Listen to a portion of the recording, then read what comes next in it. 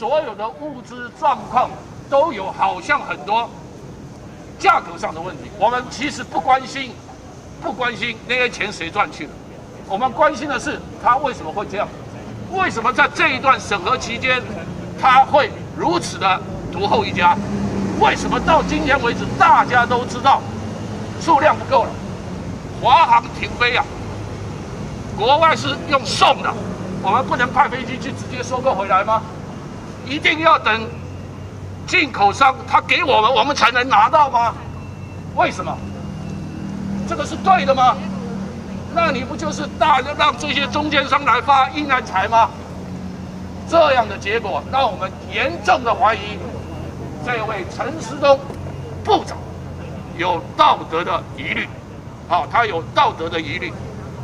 他不是绝对的愚蠢，就是绝对的聪明，让我们感觉到感觉到这个人有问号，所以我们今天来正式的跟全国民众来讲，我这个人我们不相信他，因为他不会救我们的命。今天我没有人投入饿死，或者我快要饿死了，但是我的家人因为这一次的无能，政府的无能而受到严重的伤害，我们要讲十倍奉还。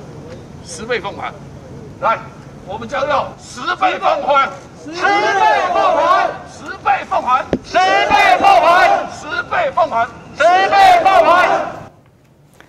哇，听到了没有？十倍奉还啊！这个亮哥，我今天还听到他一段这个访问，我觉得还蛮有感觉。他说呢，因为他说我们建设问讲跟别人不一样，我们就是自己的老板，你们这些老板都不敢讲。比方说护士工会啊，陈世忠说没有，哪有什么一比五十、一比一百，要以院方为准。院方那些高层哪敢讲嘛，对不对？但是问讲不一样啊，问讲我就是自己的老板呐，我就是敢说出来啊。但是你看看护士工会的啊，那位护理长也这个出来讲话，包括很多的护士，你去上脸书看，太多太多，有些人直接去蔡英文的这个脸书上面呛哦，要陈时中下台，快要变成台湾社会的共识了吗？他搞不好很想下台，还想去选举啊。这样下台还能去选？我跟你讲啊。小英今天这个防疫咨询会议，实际上就是陈时中擦屁股会议了。所以，哎，北北基桃优先增设大型筛检站，那就是所有大医院都动员了嘛？我觉得这是陈时中打脸会议吧？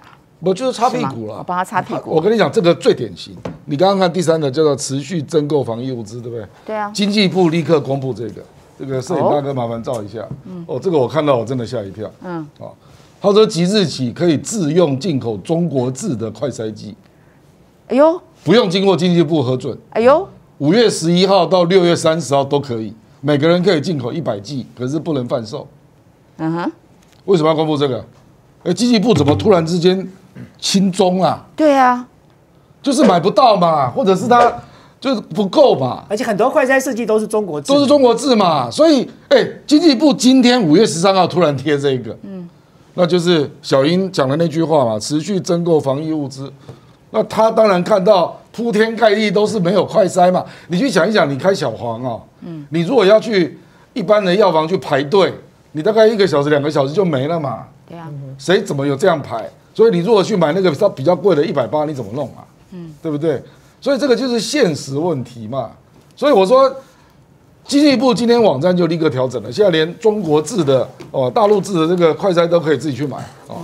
所以我说啊，这就意味着指挥中心整个的超前准备就是完全不及格嘛，这还用说吗？嗯，我们刚刚还讲治疗用药，对不对？到现在是快筛。没错，所以这是民进党的红线也也也也解开了嘛？因为之前不能够跟这个上海上海复兴签约嘛，但现在这个儿童的这个疫苗，其实秀芳，我觉得他真的是被今天这个死四十一个人吓到了。哦，总统也吓到了，当然吓到了。嗯嗯，没有，因为这个数据他今天哎，昨天晚上就会知道了。对，所以为什么今天要开这个扩大会议？就所以总统觉得不能不出手了，对不对？啊，嗯。因为继续让你这个陈时中不知道在干嘛的，那整个政权都被你拖垮。但是大家不觉？我们要告诉大家，我们有优惠，我们中天的网友哦，这些东西都可以在我们快点购网站上头来购买。现在有三种不同的好康组合，购买的时候呢，不要忘记我们有非常多的这个折扣代码可以给大家来输入，可以享有一些优惠好康。